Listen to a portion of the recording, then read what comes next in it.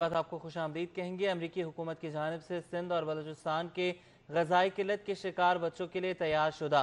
चार सौ छियासी मैट्रिक टन खुराक यूनिसेफ पाकिस्तान के हवाले कर दी गई। ये इमदाद पाकिस्तान में उनतीस हज़ार से जायद गजाई किल्लत के शिकार बच्चों के इलाज में मुआवन साबित होगी। सलमान सलीम की रिपोर्ट देखें।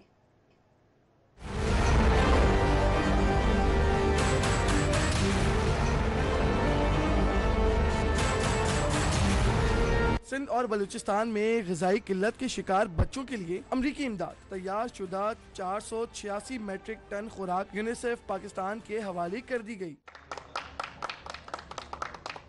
ये इमदाद पाकिस्तान में उनतीस हज़ार से जायद गजाई किल्लत के शिकार बच्चों के इलाज में मुआवन साबित होगी। पोर्ट कासिम में अमरीकी हुकूमत की जानब से तकरीब का इनका किया गया, जिसमें वजी अला सिंध मुराद अली शाह ने खसूसी शिरकत की। तकरीब से खिताब में अमरीकी सफीर डोनाल्ड ब्लूम ने कहा की आज इस गजाई इमदाद की फरहमी पाकिस्तानी अवाम खातन और बच्चों समेत कमज़ोर तबकात के साथ अमरीका के पायदार तावन वाबस्तगी का पुख्ता सबूत है।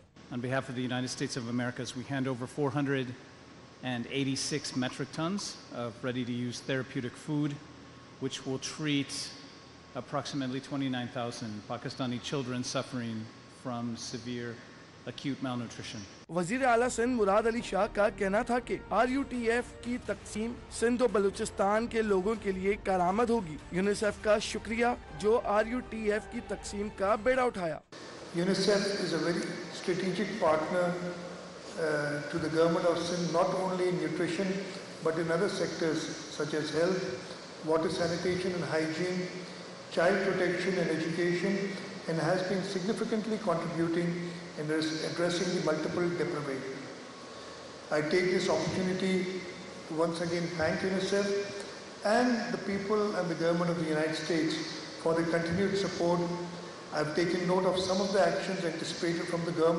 America की जानब से गजाई किल्लत से निपटने के लिए पाकिस्तान को 2022 से अब तक 10 करोड़ डॉलर्स इमदाद फराम की जा चुकी है, जबकि तकरीबन डेढ़ करोड़ डॉलर शदीद गजाई किल्लत से मुतासर बच्चों के इलाज और दीगर तिबी इमदाद के लिए मुख्त किए गए। कैमरामैन सज्जाद रईस के साथ सलमान सलीम, सिटी 21 न्यूज़, कराची।